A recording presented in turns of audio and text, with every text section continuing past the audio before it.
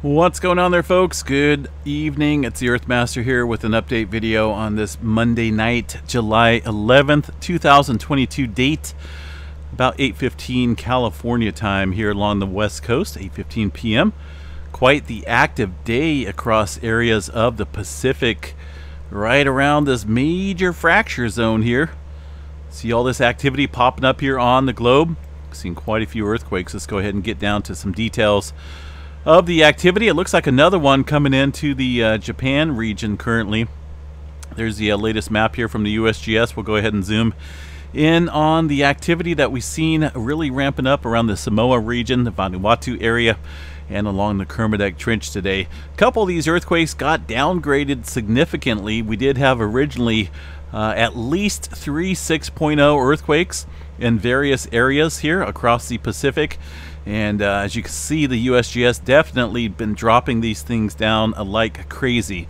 Uh, so, so far, they've kept one 6.0, and that's going to be this one here near the uh, Vanuatu area of Port Vila. uh, at about 10 kilometers. But we are starting to see a swarm of activity here around the Samoa region, relatively shallow earthquake activity, and that's very common for this little region. Uh, the deeper earthquake activity tends to occur within this horseshoe boundary, within this area along the Kermadec Trench and the Tonga Trench area. But uh, for this region here, definitely got some, uh, I would definitely call this a moderate uh, earthquake activity, getting up there in the upper 5 range. Uh, and, and again, originally this was a uh, six-pointer, at least one of those were. not for sure what the EMSC is still stating. Let me check. Let me make sure these guys are uh, latest data here looks like, stand by for just a second, one six point, these guys have the 6.1 near Port Vila, and looks like uh, they've downgraded to a 5.7 or so, uh, 5.8 near the uh, Samoa area. There's the most recent quake on the Java Trench, and some activity up into Alaska as well, 4.7. Now, let's see what we got going on here. There's a lot of stuff just taking place all of a sudden uh, throughout the afternoon here, folks. A lot of movement uh, kicking up here. And, and, when we see this type of activity, uh, it could be leading to something much, much bigger. Not only specifically in this region here, uh, but anywhere around the Pacific Plate. When this type of activity kind of shuffles up like this, uh, it's, a, it's definitely an eye-opener. So USGS reporting a 4.3 south of Anchorage here at 30 kilometers um, see if anybody felt this earthquake out here. It's a somewhat of a distance from the Anchorage area, but a 4.3 might uh, be felt up there. Looks like a few reports being felt around the big city of Anchorage. Just some very light shaking. Uh, it's been a while since they've had any significant earthquake activity up here around the Anchorage region. Uh, it's a major player, though, and producing some large quakes. This whole area is. So, Let's see what we got. Uh, Java Trench is showing some further activity uh, with a 4.9 there in the Indonesia area. Java Trench, 35 kilometers. Uh, just a whole lot of movement down here in the south part and around the Pacific Plate. Uh, as far as the Japan Trench goes, we haven't really seen too much activity, uh, which is a little surprising uh, considering all this large-scale movement that's been taking place here in this little bend area of the Pacific Plate and the Australian Plate here. This area that just sees a tremendous amount of earthquake activity. Um, let's see here. West Coast is having a little bit of activity. It looks like uh, some of this movement here is from, uh, I believe, late last night. They're off the uh, coast of Oregon. We'll pull up the all magnitude, see if any of this movement has uh, messed with any areas. Hawaii is pretty quiet right now, not seeing a whole lot of adjustment currently. Only 21 earthquakes um, throughout the uh, region, most of them in the Pahala area. A couple earthquakes offshore near the uh, submarine volcano out there, Loihi Seamount. But uh, it doesn't look like all this movement has done too much there to Hawaii. Uh, it definitely has stirred things up here in Alaska, though, with the most recent activity uh, into the northern portion of the Pacific Plate. West Coast activity, we got uh, 1.2 in the Doyle area of California, it looks like, right on the border. Uh, that one pretty deep at nine kilometers there into the uh, uh, into the border line, into the state line there. It's a movement uh, once again. It looks like throughout the eastern crest of Sierra Nevada. This activity out here around Eureka, Nevada. Um, still watching it pretty closely. It's been kicking up off and on overnight and this morning, uh, although no, nothing really shown up here within the last hour. Long Valley supervolcano, a couple spotty earthquakes here around Mammoth Lakes region. Not a whole lot going on around this swarm area, though, that we were looking at uh, a week or so ago. Ridgecrest area, a couple spotty earth, earthquakes there, and um, Southern Cal, not lighting up too much. No red circles there in the uh, area, indicating most recent quake activity. So, majority of this from uh, earlier this morning and afternoon time frame. Just some microquakes out there in Southern California. Uh, up through Oregon and Washington, about the same. Little spotty activity throughout the Yellowstone area of Wyoming. Eastern part of the country here has been quiet though over the past few days. We haven't seen too much earthquake movement uh, within this area. We got one earthquake up here in the Michigan area. It looks like uh, Luna Pier, Michigan, a 2.4 at uh, five kilometers. Pretty shallow earthquake. Looks like uh, a couple folks reported seeing or uh, feeling this around the uh, Toledo area. Looks like up to Monroe as well. A little light shaking occurring up there in the earthquake country of Michigan. Well, I know Ohio up here gets a couple earthquakes as well. Uh, I believe it's been a couple months since we've seen any activity here. I know this was just kind of, I believe, north of the uh, Cleveland area that we've seen that movement a couple months back. Puerto Rico Trench uh, lighting up a little bit in our swarming area once again with the 3.5, the latest here within the last hour at 40 kilometers. South America has been the awfully quiet child, just kind of sitting back, observing what's going on around the Pacific Plate.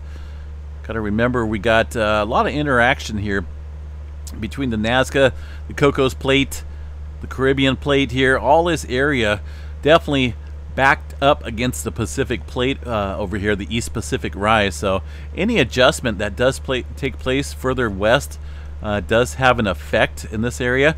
But I think in this case, um, it tends to relieve, similar to the west coast up here, it does tend to relieve pressure along the South America region. Not all the time, but I've always seen things kind of go quiet around the South America region uh, when this area tends to kick up.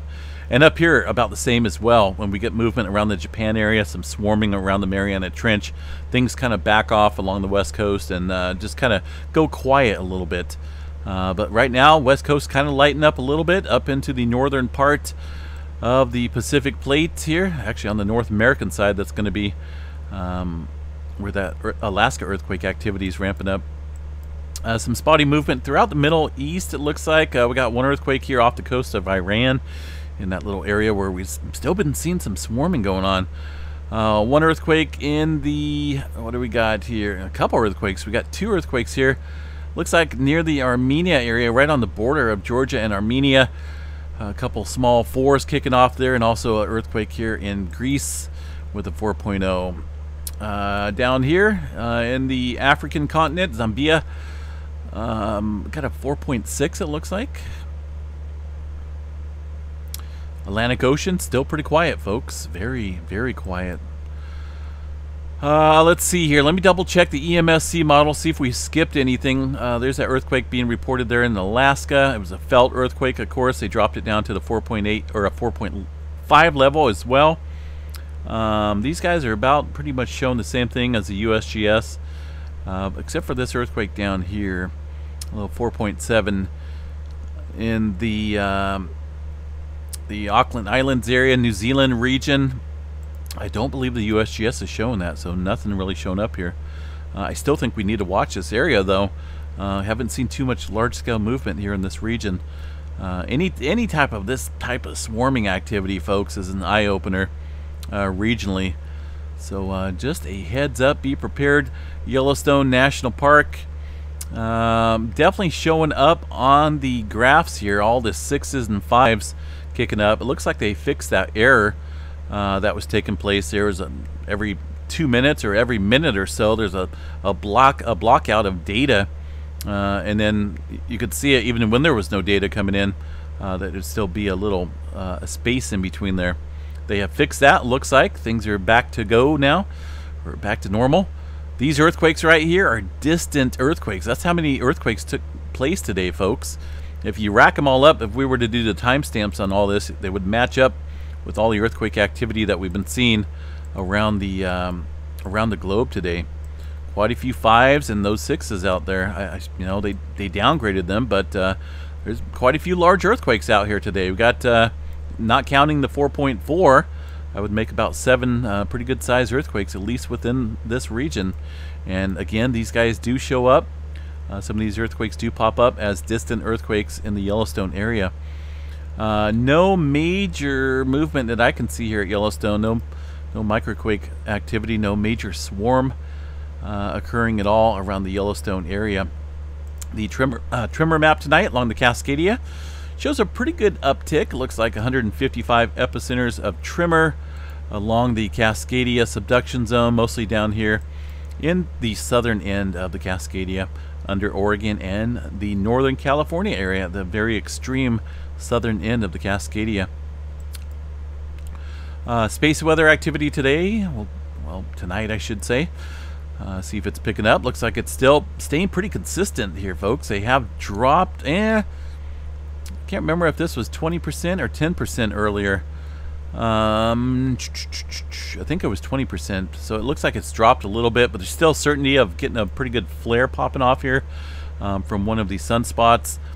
Uh, currently, the X-ray flux data is showing consistent C flare activity. Uh, kind of pretty much the popcorn cooking on the stove, sizzling, so to speak. Uh, you know, if you can visualize that, uh, looking like we could be amping up here a little bit with some solar flare activity very soon. Uh, there is some uh, activity kicking up in the KP index here throughout the morning and the afternoon time frame. Let's see what we got here. Um, when was this put out? Looks like earlier this morning. Uh, looking at the data here, 3053 now is directly facing us. Same with 3055. So anything that these things pop off, uh, should they have a subsequent CME, will definitely be Earth directed.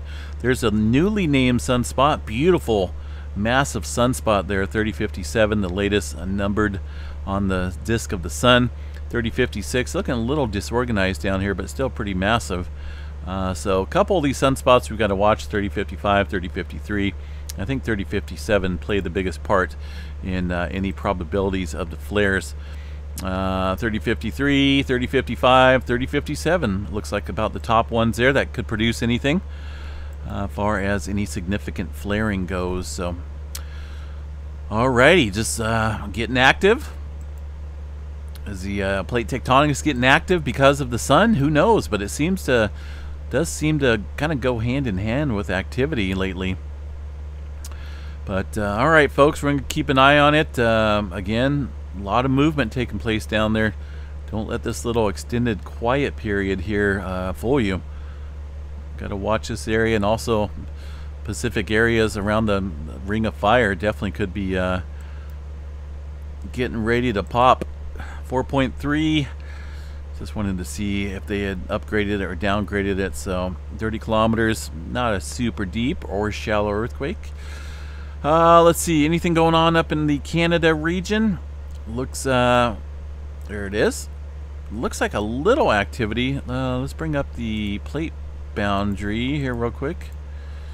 And a little back building it looks like here west of the Cascadia uh, northern end of the Cascadia subduction zone at 3.0 at 10 kilometers, well off the court, uh, coast of Port Hardy, BC area.